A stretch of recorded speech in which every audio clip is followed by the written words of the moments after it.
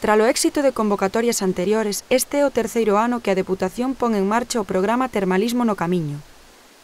O prazo continúa aberto para que os lucenses maiores de 50 anos poidan desfrutar dunha das 1.200 prazas que se ofrecen para acceder entre os meses de agosto e decembro aos tratamentos ofrecidos en catro balnearios da provincia, Augas Santas, Río Pambre, Romano de Lugo e Quitiriz, todos eles no Camiño de Santiago. As 1.200 prazas dispoñibles distribúense do seguinte xeito – 650 prazas en Oca Augasantas Balnearios Golf and Resort, 450 prazas no Hotel Balneario en Golf Resort de Guitiriz, 100 prazas no Hotel Balneario Río Pambre e 30 no Balneario de Lugo Termas Romanas.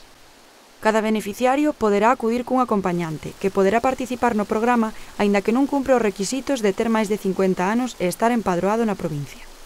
O prazo para presentar as solicitudes continúa aberto. Só se aceptarán as inscripcións realizadas polas persoas interesadas, sen delegar en concellos ou entidades, presentando no Rexistro Xeral da Deputación de Lugo a documentación que poderán obter na web www.deputacionlugo.org, xunto cun certificado de empadroamento e unha fotocopia do DNI.